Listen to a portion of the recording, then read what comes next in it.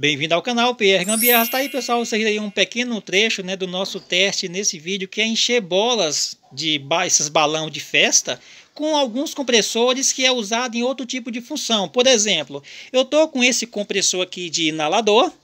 Esse outro compressor, pessoal, já é de selador a vácuo ele é 12 volts e eu tô com esse compressor aqui automotivo, né, de encher pneu de carro, de moto, de bicicleta, que também é 12 volts.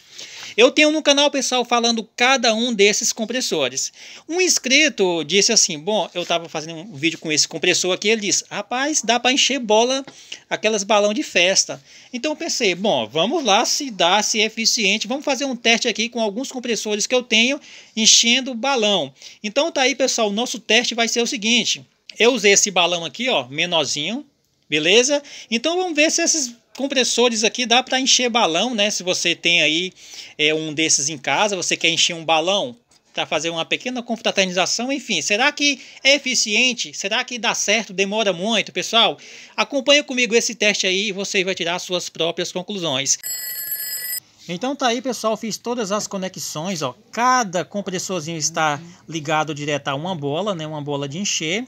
A amarela está ligada aí ó, no compressor automotivo beleza? E a azul está ligado no inalador. E a branca está ligada aí no compressorzinho da seladora a vácuo. Observe que vamos fazer a ligação, né? Pedi um ajudante aqui, porque tem que ligar três ligações aqui, tem que ser ao mesmo tempo. Eu vou ligar o inalador e a minha ajudante vai ligar aí nos motorzinhos de 12 volts. Ligado, agora vamos aos testes.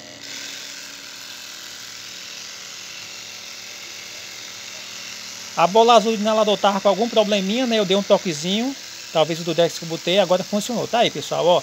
Vamos ver qual dessas vão estourar primeiro, né? E só um lembrete, pessoal, o meu compressor aí automotivo, né, perdeu um pouco a pressão, inclusive eu vou ajeitar e mostrar no canal, né, como é, regular a pressão aí desse compressor automotivo, né, pode ser diversas coisas, ok? Vou fazer um vídeo sobre isso. Agora vamos aos testes e vamos lá.